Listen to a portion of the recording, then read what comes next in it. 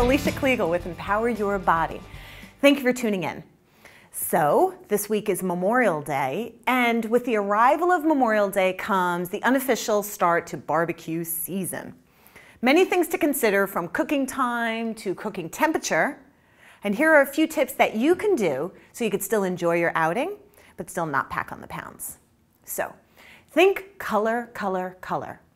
Lots of veggies, guys from peppers, onions, squash, mushrooms, tomatoes. I don't know if they work that well on the grill, but lots of veggies that you can put, corn on a skewer. I don't know about the little corns, but anyway, the larger pieces on a skewer, or you put corn in a cob, heavy duty aluminum foil. Mm-mm. Keep them on the grill. They will roast. They will be fabulous. So lots of veggies. Number two is please consider not only for calories and for your heart and arteries, but stick with meats that have less fat, so less fatty meats. All meat has carcinogens in them when you cook them, and, once, and, and another thing is please don't overcook them, because then the carcinogens come out more.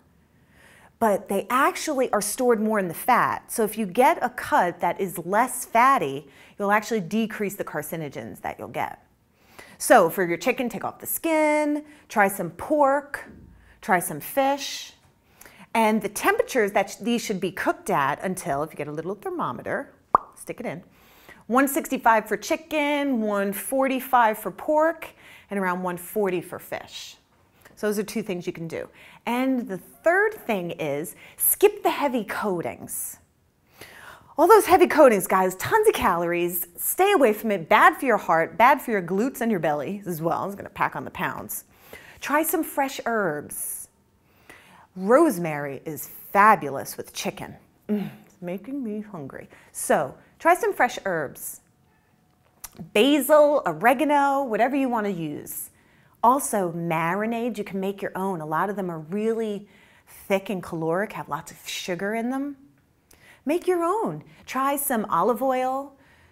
Uh, olive oil, you could try some lemon in it as well. So and basil actually is fabulous. So those are some suggestions that you can do and decrease the chance of your button popping open while you are having your barbecue. So I hope that you enjoyed. The question I leave you with, what temperature should beef be cooked at in order to be medium? So the answer later in the week. Don't ever forget, go to empoweryourbody.com please for more info, read our blog, and to download me with you, take with you to the store when shopping, finding fruits and veggies, or to work out with me in the gym. Click the link, subscribe, comment, let me know.